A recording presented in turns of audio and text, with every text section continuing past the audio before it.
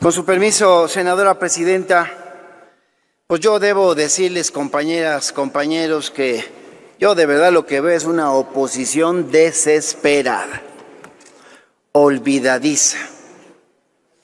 Ahora sí que qué poca memoria tienen quienes representan la, la oposición y para mí es comprensible, porque después de ser arrollados dos veces seguidas, pues resulta lógico su pataleo ante lo que se vislumbra, que es una inminente derrota.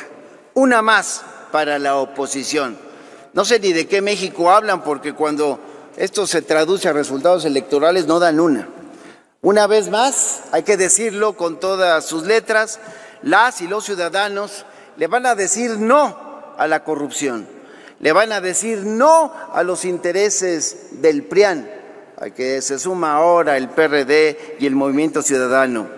Le dicen no a sus abusos, no a su deshonestidad, no a sus mentiras.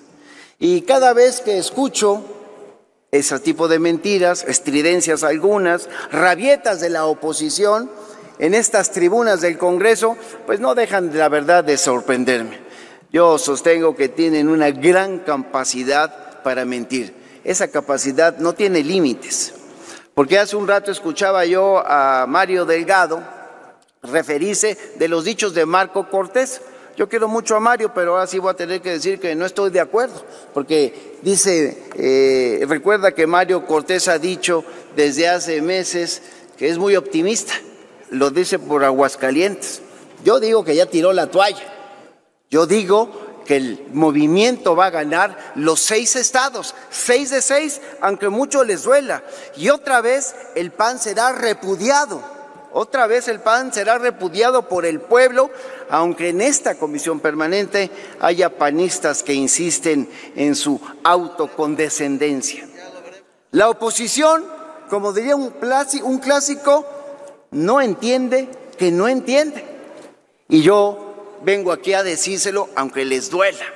Siguen entender que no fue López Obrador el que los arrolló en las urnas, que no fue la coalición de Morena, Pete Verde, quien los ha venido derrotando elección tras elección.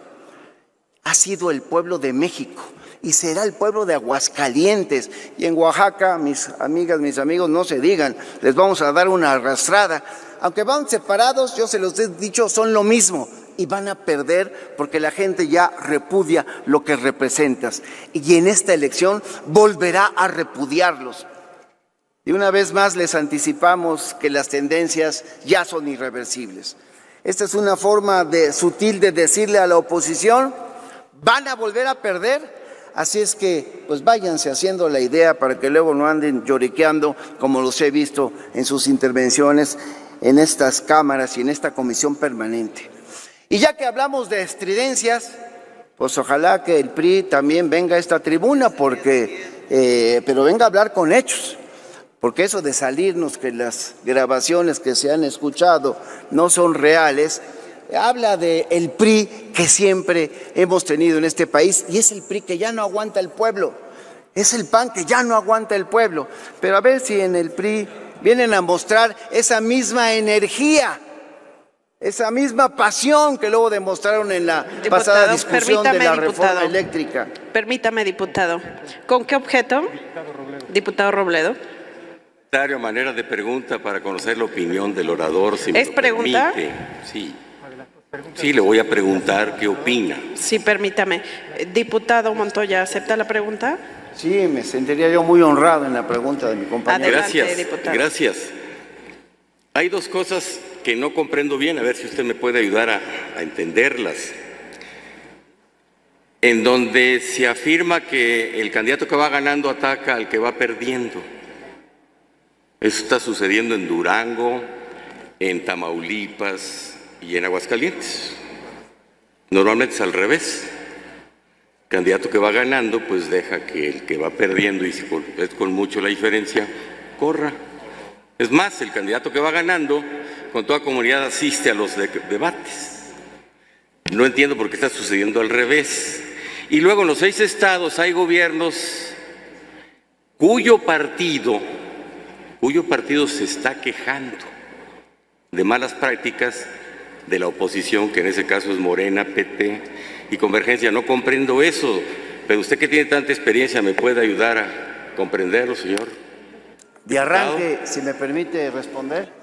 Adelante. De arranque yo le diría que eso habla del cinismo. El cinismo es una característica de la oposición panista priista en este país y se están sumando ya otras fuerzas políticas.